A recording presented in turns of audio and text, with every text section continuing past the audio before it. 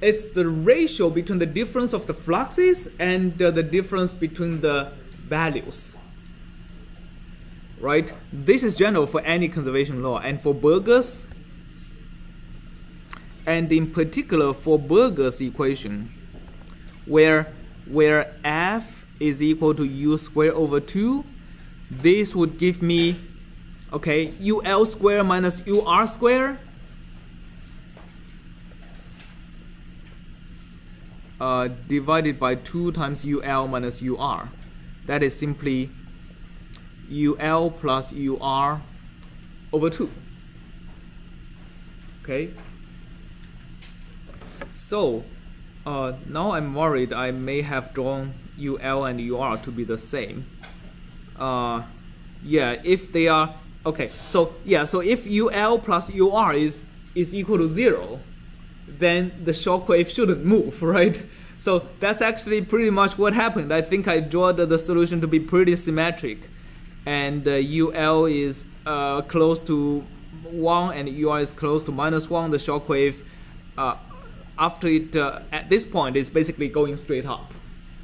But previously, when you have UR to be almost minus 1 and UL is still orange, which means UL is a little bit lower at that point, UL plus UR is going to be negative. So the shockwave over here, you can see it moves towards the left, right? So the speed of the shockwave is actually going to be constantly changing because uh, UL plus UR may be constantly changing as those different solutions bump into the shockwave like that. All right, what we are going to see is that UL is going to decrease, right, while UR is still pretty negative. So we'll see the shockwave curving towards the left. Uh, let's just uh, watch my prediction to be. Or maybe the magnitude is too small to be seen, though. Uh, right, it's a little bit hard to see. Let's draw something more obvious. So if we want the solution, okay, if we want the solution to move towards the left first and then move towards the right, what should we do? Right, so so we want a solution. Okay, so if we want to first move towards the left, we want the discontinuity to to be like that, uh, and uh, maybe that. Would that work? So oh that wouldn't work. Sorry. So we want a we want a larger magnitude over here. And we want the discontinuity that is over like this. So I think I think this will work because uh, so here the discontinuity is going to be first uh, formed over here right? So UL UR are both negative at this point. So I think the, the, the shockwave should move towards the left and after a while uh, as the solution up there starts to bump more and more into the shockwave we'll see the average becomes higher and the solution should move towards the right. Right so uh, we'll wait a little bit. But overall uh, as you can see that the speed of the shockwave is like the finite difference slope of f. Right it's almost like if you if you can draw f as a function of u, right? So for burgers, it's a quadratic. And uh, uh, this is like if I have ul here, ur here, the speed of the shock can be determined by the slope. This would be fr, this would be fl, right? f of ul and f of ur. So the slope is like the, the finite difference slope of the flux function.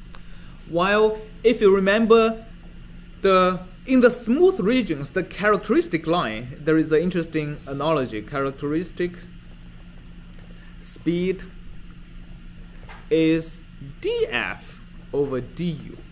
So the tangent of this line is where the smooth region characteristics would move.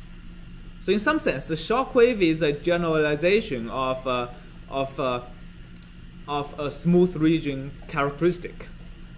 Or you can also think the characteristic line in the smooth region is like an infinitesimal shock. Okay. right? So let's see here. Uh, maybe let me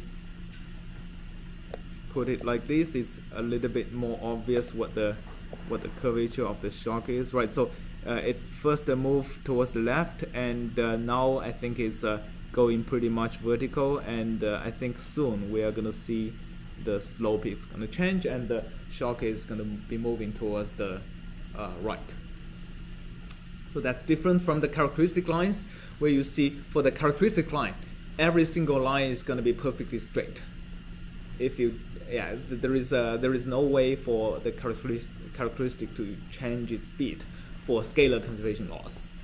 We're going to see like for for uh, uh, for scalar conservation laws without a right hand side, uh, it wouldn't change, right? So. Uh, so for for a system of conservation laws, we're going to see the characteristic is going to change speed.